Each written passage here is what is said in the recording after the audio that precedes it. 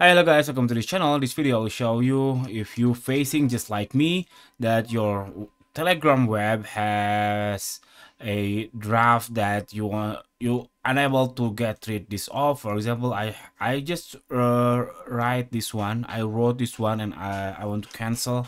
So i want to discard this draft. So when i delete the text is coming over again over and over again so the problem is because you open more than one uh, Telegram web on your computer. For example, here I open two Telegram web in two different browser. So it makes this draft keep uh, showing up after I delete it. So what you have to do, you just close your another Telegram uh, tab on your browser. That's it. That's should be solve your problem.